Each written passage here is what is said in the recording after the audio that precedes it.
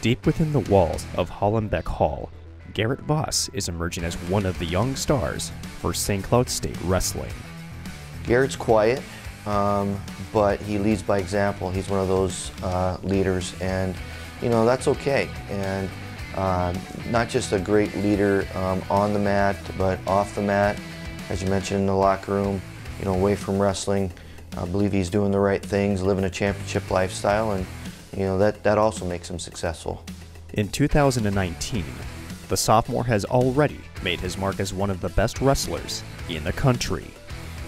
He's a really good wrestler, obviously, and he just got uh, done defeating the returning reigning national champion from Pitt Johnstown in a convincing fashion. So it wasn't just a fluke win for him, or uh, you know, he went out and dominated the match and uh, all three periods, and you know, uh, did a great job. I really like to watch film or like really look at, look at too many things my opponent does. So then I'm just thinking about what they want to do instead of what I want to do, and so. I didn't really do that, but it was the mentality was just like, nah, we, we train for these situations every day in practice, so it's nothing like really different. You just got to go out there and wrestle and uh, just keep going hard the whole time.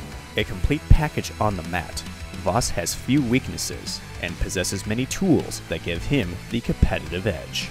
He does a great job getting, getting to leg attacks and does a great job finishing. He's super hard to score on, as I mentioned. He's he's got excellent scrambling ability and uh, just does a fantastic job wrestling through every position. So, um, like I said, he he's he's good at his top game. He's good in neutral.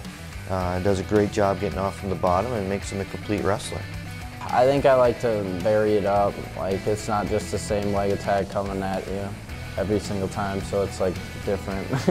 So it obviously makes it harder to stop, but I don't know, just varying your attacks and different moves. My pace, like, I don't know, a lot of guys are good in the first period, but then they start to fall off. So I think just keeping that same pace from the first period till the end is a huge factor, and I, I think I've done a decent job at that. Even with all the accolades, Garrett continues to work tirelessly to improve his game. It's not like last year I had some trouble like uh, getting ready and like being ready right off the whistle. So that's one of the things I've had to work on this year is kind of flipping a switch in my head and just as soon as I'm running out on the mat, I need to be ready. And like in practice, just when we're going live, you need to flip that switch. So I don't think you know wrestling doesn't come easy for a lot of people. You know, he's a kid on a consistent basis that comes in day after day, works really hard at it, and wants to get better. And that's what makes him uh, a special wrestler.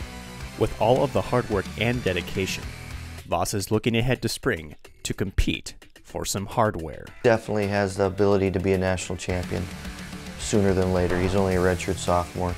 But if he does all the right things and lives the right lifestyle in terms of you know, nutrition, sleep habits, taking care of his body, there's no doubt that he can be on top of that podium in March.